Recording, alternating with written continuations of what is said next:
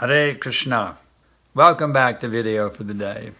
This is Sankarshan Das Adhikari speaking to you from ISKCON, Austin, Texas, USA. Some people think you don't really need a guru to become self-realized, but that is completely bogus. Krishna himself showed the example by accepting Sandipani Muni as his spiritual master.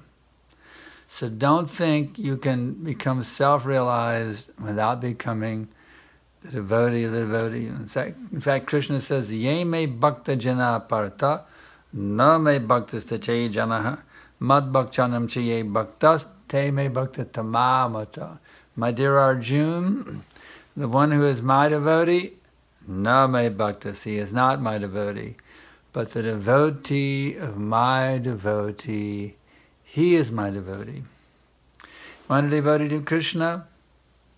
You want to be a devotee of Krishna, then you have to find out the bona fide spiritual master from whom you can take initiation and dedicate your life to following his instructions, accepting him as your very life and soul, and then you'll be properly situated in the transcendental platform.